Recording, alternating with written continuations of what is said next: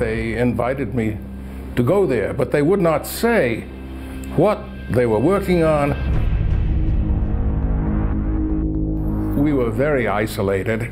We were in the middle of nowhere.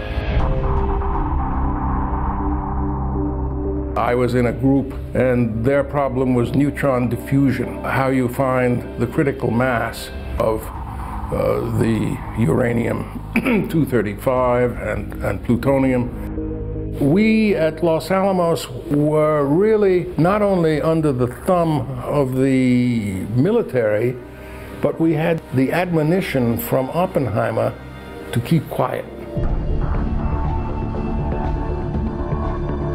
As a theorist, I was not part of the experimental arrangement.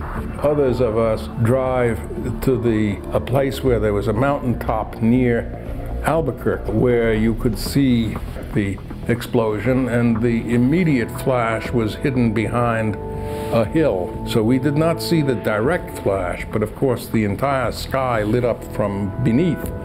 There were clouds, and uh, it was as if the sun had risen in the south.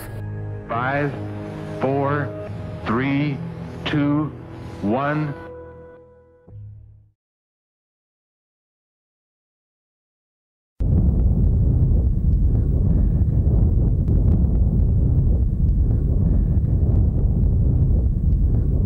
It uh, certainly frightened us all.